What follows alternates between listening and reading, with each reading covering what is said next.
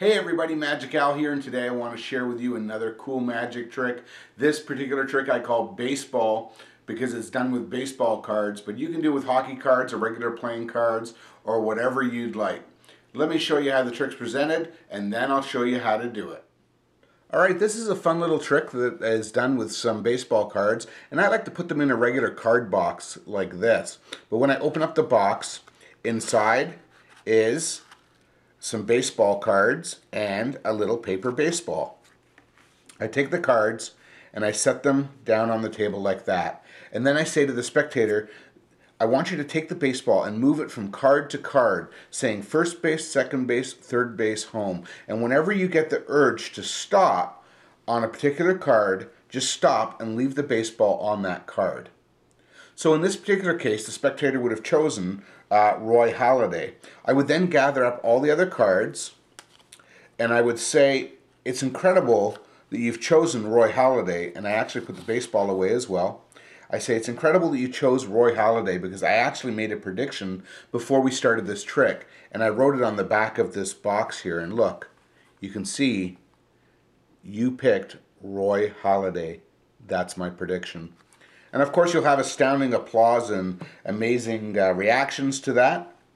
But the bottom line is that you have them covered no matter what card they choose. For example, if they chose, um, let's say they chose Vernon Wells. Well, on the baseball, if you open it up, you have Vernon Wells written inside the baseball.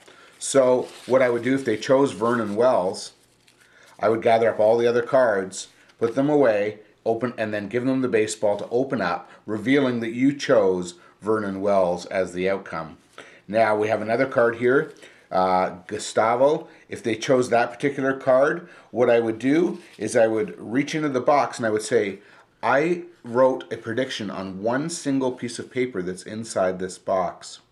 And if you look on this piece of paper, you can see the name Gustavo. So if they chose this particular card, that's how I would reveal the uh, result. Now, if they chose, um, let's say, Roy Halladay, I would gather up all the other cards, I would put them back inside the box, and I would say I made an amazing prediction before we started that you would choose Roy Halladay. So you've got them covered. What do you do um, if they choose the last card, Russ Adams? It's very, very simple. You gather up all the other cards and you say, you know what, it's absolutely incredible that you chose Russ Adams because I actually made a prediction. And you don't even have to put the cards away for this one, actually. You can just flip them over because I made an amazing prediction that you would choose Russ Adams. Go ahead and turn over the card. When they turn it over, it says, you selected Russ Adams. So you've got them covered no matter what card they select. It's a great little trick. Like I said, you can do it with hockey cards, you can do it with baseball cards, you can do it with regular playing cards, or any other kind of collector card that you can think of. That's how you prepare it. One card with the name on the back that is the, uh, the reveal. The other one, Vernon Wells, is on the baseball that's crunched up into the little ball. Gustavo, or whatever the third card is, is on a slip of paper that's inside the box that is only revealed if you uh, if they pick that card. And the last prediction is on the actual box itself, which they will never see unless they pick that particular card.